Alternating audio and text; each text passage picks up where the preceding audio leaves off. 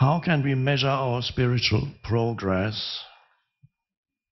Well, one thing I mentioned earlier uh, when we gave the example of arriving here and being told that no, we have no reservation for you. Similar, such situations are interesting situations that can reflect back to you what your level of consciousness is, how you react or respond in such a situation. And life is full of situations like that when something happens and you are you're not being honored or somebody hasn't respected you or is not giving you enough attention and something goes drastically wrong and how what what does that do to you and how do you how does it affect you that you can through self observation you can often sometimes the observation can come can only come in retrospectively sometimes in the moment you get so taken over by some reaction that you don't even know what's going on. You're just on automatic. It's the ego having taken over. Then sometimes after it has subsided, you look back on the situation and you observe your reaction and say, hmm, would have even better if somebody could have videoed you. That would be extremely helpful if you could arrange with a person close to you to pick up the iPhone and and put it on the, on on video uh, and film you when you're being unconscious. And then when you're more conscious, ask you, are you ready to look at yourself?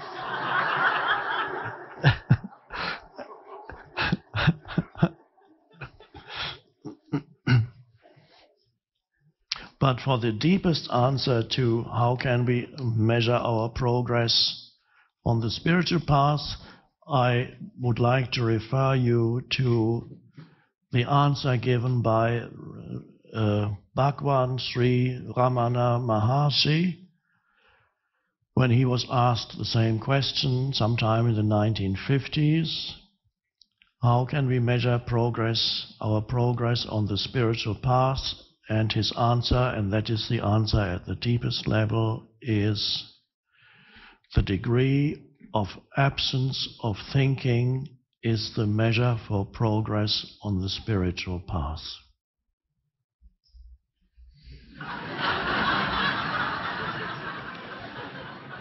That's clear enough. if that's too complicated an answer, I can probably simplify it. It's how little you think shows you how far you are progressing or progressed on the spiritual path. Or how much you think shows you how little progress you have made.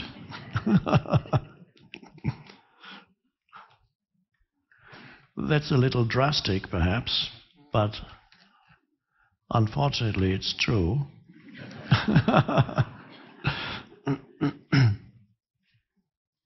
So it's just, it, that's so simple, isn't it? Now, again, many of you are already able to step out of thinking. And the, the thoughtless state, which is presence, which is awareness, arises in your life already here and there spontaneously. When you look at something new, there's a moment of, before you call it anything. A new person, you meet a new person, for the first five seconds, the mind hasn't had time to formulate an opinion about that person. There's a moment of spaciousness. that sometimes in that moment when people can an intuitive perception of the other person in the first moment. But then the mind comes in, and very often what the mind says is just an expression of its conditioning. And very often is not the other person, you're saying something about yourself rather than the other person, you're projecting, in other words. So, measure for progress on the spiritual path, in other words, is the degree of stillness in your life, your inner space, in daily life.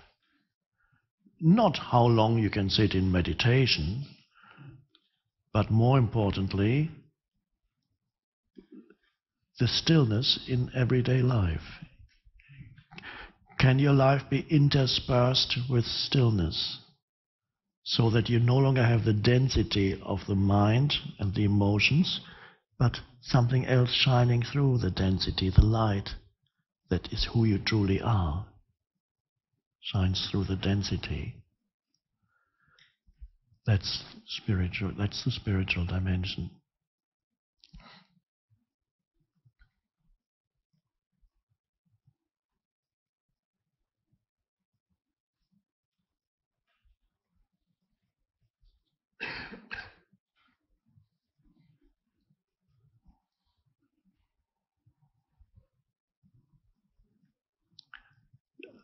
as I mentioned before at some point, there was a time when I woke up one morning and I felt at peace after being a tortured individual.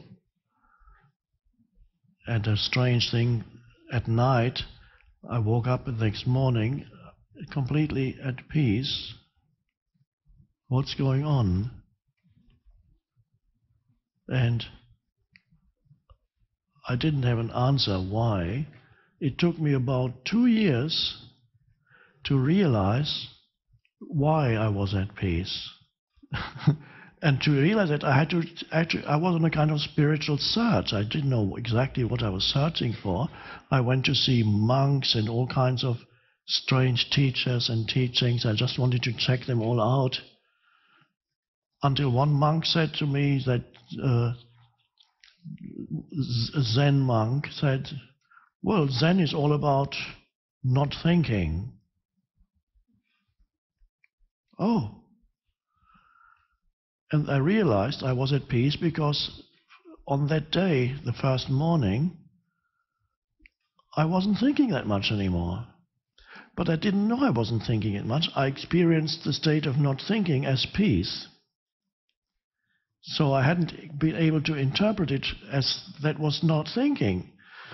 So you experience no, no thought as simply a very peaceful energy arising. But it could only arise because the density of the mind wasn't there anymore. There was some thinking, of course, but not the, not the continuous density. Very much less thinking. How much less? I don't know. A lot less.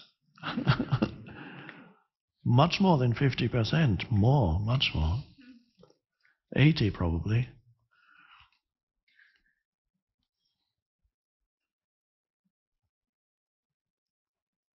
So that's a spontaneous thing. Why that happened, who knows?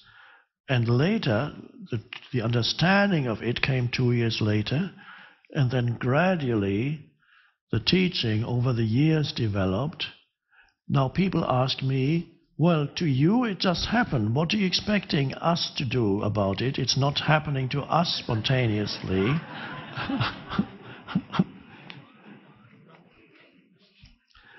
but I know that from enormous amount of feedback I get from people that the teaching actually works for many, many people. It, it, their life gets renewed because the old mind patterns are subsiding and the new consciousness is arising. So, although it may not happen in one moment, that's fairly rare, it is for most of you or all of you, it is a, the process, I call it the awakening process, when presence awakens. It's a new birth. Uh, you are newborn. If the, so many words have been misused so much that I don't want to use them anymore. Don't say newborn. Uh,